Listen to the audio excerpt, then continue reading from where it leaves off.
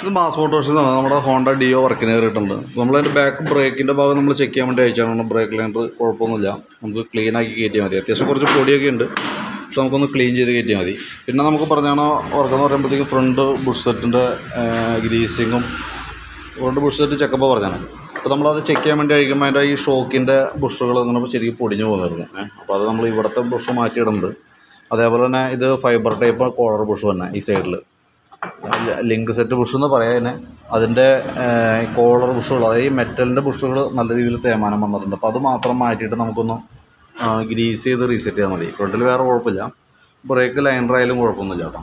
പിന്നെ നമുക്ക് അതിന്റെ എയർ ഫിൽട്ടർ നമ്മൾ ചെക്ക് ചെയ്യുന്ന സമയത്ത് എയർ ഫിൽറ്റർ ഒന്ന് മാറ്റി കളഞ്ഞേക്കാം. കാരണം അത്യാവശ്യം ഒരു ഇതും പൊടിയായിട്ടുണ്ട് പിന്നെ ഈ ആക്സിലേറ്ററിന്റെ കേബിൾ ചെറിയൊരു ടൈറ്റ് കാണിക്കുന്നുണ്ട് കേട്ടോ. അതായത് ഒട്ടും പ്ലേ ഇല്ല. റേസിങ് ആവാനായിട്ടുള്ളൊരു ചാൻസ് കിടക്കുന്നുണ്ട്. ജസ്റ്റ് നോക്കട്ടെ അഡ്ജസ്റ്റ് ചെയ്യാൻ പറ്റുമെന്നുണ്ടെങ്കിൽ നമുക്ക് അഡ്ജസ്റ്റ് ചെയ്ത് നമുക്ക് ഉപയോഗിക്കാം ഏ.